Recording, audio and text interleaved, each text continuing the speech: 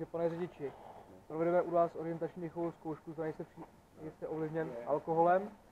Můžete tuto dechovou zkoušku odmítnout, pakliže odmítnete, bude na vás hleděno, jako byste požil a bude s váma podle toho nakládáno. Rozuměl jste poučení?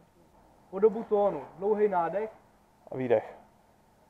dýchat, dýchat, dýchat, dýchat, dýchat, dýchat, výborně. Nula. Tak. Jo, je to negativní.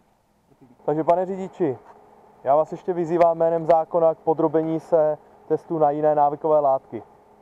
Takže test je zapečetěný, není rozdělaný, můžete se přesvědčit. Jo, není to, naruče, není to nikde narušený, já to rozdělám. Takže, vyplázněte na mě jazyk. Pořádně, vyplázněte jazyk jako u doktora. Tak, pohodě, ještě, tak, otevřete ústa.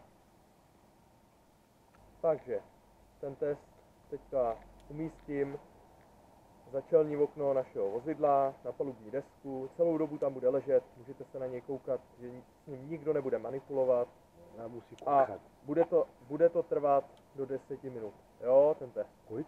Do 10 10 minut maximálně. Takže pane řidiči, já vás tímto omezuju dle trestního řádu na osobní svobodě a setrvejte tady s námi na místě do příjezdu policie České republiky. Rozuměl jste?